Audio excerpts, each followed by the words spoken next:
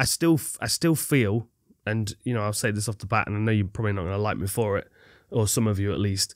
I still feel like Izzy is the best middleweight in the division.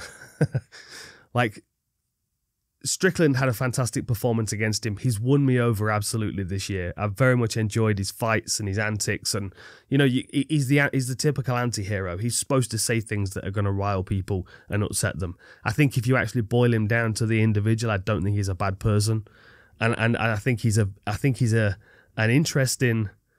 I think he's an interesting phenomenon in mixed martial arts, and I've been reflecting on this quite a bit because for me, this like these two guys for don't they don't represent for me the pinnacle of all mixed martial arts technique and skill. I feel like there were guys in the bantamweight on the undercard that were technically, you know, more sound and more proficient. But what what what we are finding is what Sean Strickland does is is a very effective uh, style against a lot of fighters that are are generally very effective with their striking. Now, what Dricus Du Plessis did well was constantly change the range I think he struggled in the first round. I gave Sean Strickland the first round. And when I was watching it, honestly, I actually gave Sean Strickland the second round. When I watched it back, though, I feel like my, my perspective changed slightly. Um, but for me, Strickland was just doing a good job. I mean, what was uncharacteristic of the first round for Strickland was that I thought it was quite a good round. you know, like I was I was watching it and we're like 45 seconds into the round, and what you're seeing is Strickland walking forward and jabbing and teeping, and the crowd going Strickland. It was just, it was like a complete parallel universe. And in that moment, he must have he must have felt so.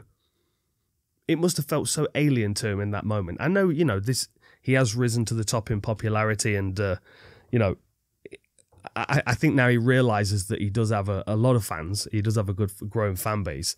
But I think even in that moment when he was like first round and he's kind of picking at, at Du Plessis and teeping at him and the crowd are shouting at him and he's got his black and gold shorts on and I don't know, it just must have still felt so surreal for him. It it certainly certainly felt surreal for me watching it. And and, and I think he started off really well, but I think because he was effective with the jab and because that effectiveness with the jab went from the first round into the second round, then we started to see that swelling forming on Du Plessis, and he's realizing that he's getting stifled on the outside with single shots, and he's trying his own single shots, and they're not working because Strickland's doing a good job job of drifting away out of out of the range of them. So, I think when as that second round was progressing, and I had Strickland winning the second round up until hang on, I've, I've got I've got stuff written down here.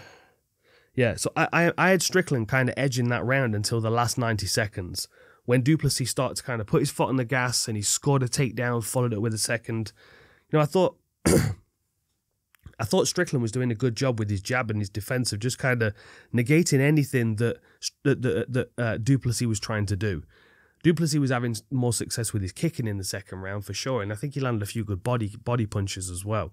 But still, it was the last 90 seconds where Du Plessis was like, right, I can feel the swelling coming on. I'm being stifled with these single shots. I'm going to start now to cover more distance. And that's when we started to see the, the, the second, third, sometimes fourth punch land. And, uh, you know, I, I, I was it was a good adjustment. It was the right adjustment to make. See, it's interesting because I have a few people here saying uh, one two five Strickland, I, I don't I don't disagree with you. I think if you'd have, if you'd have asked me for my scorecard at the very end of the fight, without me having the luxury of going back and watching it again, I would have probably said the same thing. I would have probably gone one, two, and five. But then watching it in hindsight, I feel I can see I can see certainly why the second round was was uh, was was scored to to Du Plessis. I feel like he he finished stronger at the end of that second round. Um, but I also feel like the fight was kind of upside down because I felt like it was going to be Strickland that was Strickland's second round was much more like his first round would I would have expected. You know, kind of stifling what was coming and, and, and interrupting Du Plessis with his jab and drifting away when Du Plessis was attacking and like even though he was taken down, he wasn't really controlled for very long. He was able he, he was able to scramble very well, very safely. Um, so so even that like like even though obviously that and that was that was a difference maker to a point for for Du Plessis because he was scoring those takedowns. I don't even feel like like Strickland was particularly that bothered he was getting taken down because he was able to get back up relatively easy. And this was a smart decision for Du Plessis because I feel like sometimes he has tried too hard to hold people and control people down. and that could have potentially been where he wasted energy. And I feel like, I feel like there are certain times where he has wrestled and grappled more than he needed to in the Till fight, or more than he wanted to potentially in the Brunson fight. I feel like even even though he was able to take Strickland down, he was conscious not to waste the energy to try and control him there. Because Strickland was very good at popping back up to his feet.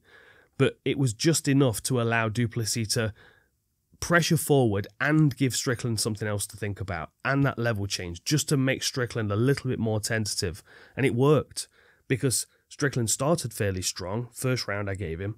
Then the fight started to slip away from him. Say he won, you know, a three minutes of this of the of the second round and then he lost from that point onwards. You can decide whether you think he won enough of the second round to win it on the scorecards I'm still up for debate. Like I said, it, when I scored it live, I thought Strickland had pinched it.